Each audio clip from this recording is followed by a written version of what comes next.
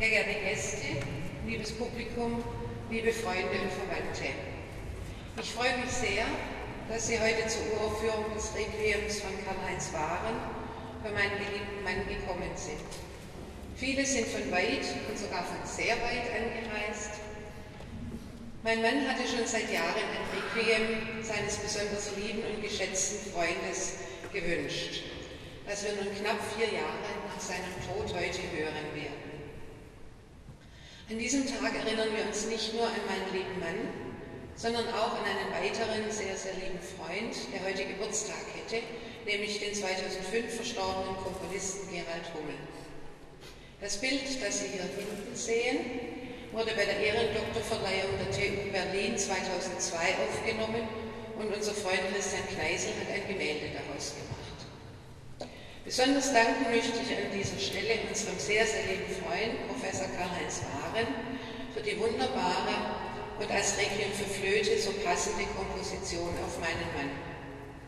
Mein Dank gilt auch dem Dirigenten Jon Barra Johansen, der das Programm so exzellent mit seinem Residenzorchester Berlin und den fantastischen Solisten umsetzt.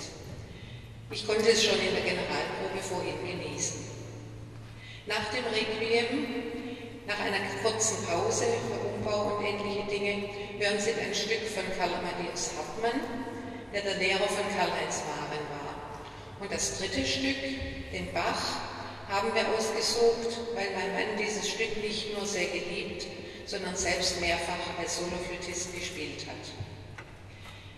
In Ihren Programmen finden Sie einen Zettel über die Orgelrenovierung. Es wäre schön, wenn Sie am Ausgang dafür etwas spenden würden.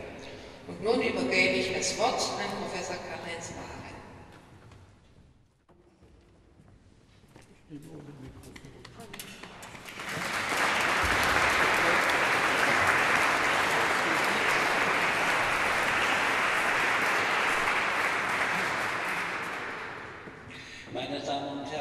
Gestatten Sie mir ein paar Worte zu meiner Komposition zu sagen. Requiem ist eine bestimmte Form, eine musikalische Form, die am klarsten bei Mozart in dem wunderschönen, berühmten Requiem zu erkennen ist. Das erste auffällig ist natürlich das Orchester und Chor.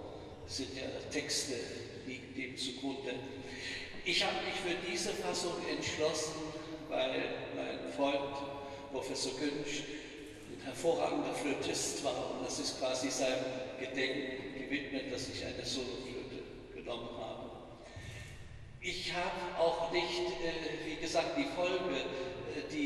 Die Satzfolge, die ein Requiem normalerweise hat. Äh, ich habe das Leben versucht von ihm zu vertonen, natürlich in einer gewissen groben, einfachen Form, aber es ist der Versuch, die Musik, wie sich sein Leben mir dargestellt hat, auszudrücken. Das geht auch in der Satzfolge mit der Kindheit los. Da spielt noch nicht die Flöte, da hat er ja auch noch nicht Flöte gespielt. Also solche einfache Überlegungen liegen dem mit zugrunde. Die Violine in verschiedenen Soli äh, stellt das Kindliche dar. Im zweiten Satz ist der Zweite Weltkrieg, den er von Anfang bis Ende mitgemacht hat. Das äh, musikalische Hauptmotiv, das, äh, das hören Sie an der Lautstärke und an der Zerrissenheit der Musik. Und dann zum Schluss die Ruhe, die über den Frieden, der gekommen ist, sich ausdrückt. Und äh, im dritten Satz wird eben das Leben von Günter Günsch, soweit, äh, von Professor Günsch, soweit ich das übersehen konnte. Ich habe ihn ja erst in den letzten 15 Jahren, 20 Jahre waren es, kennengelernt und er war ein sehr lebensfroher Mensch und ein hochintelligenter, gebildeter Mann, mit dem ich mich sehr gern unterhalten habe. Und ich habe ihn noch 14 Tage vor seinem Tod mit meiner Frau hier besucht in Brandenburg und er lag im Bett und wir haben uns wunderbar unterhalten. Mir wäre nicht der Einfall gekommen, dass er 14 Tage später tot ist. Das hat mich auch sehr betroffen gemacht.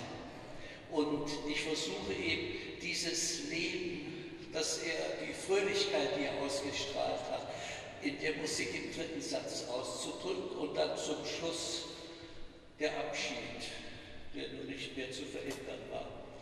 Ich wünsche Ihnen eine angenehme, intelligente Unterhaltung mit dieser Musik, die keine Unterhaltungsmusik im einfachen Sinne ist, aber eine gewisse musikalische Übertragung dessen, wie ich das Leben von Professor Günsch gesehen habe. Dankeschön.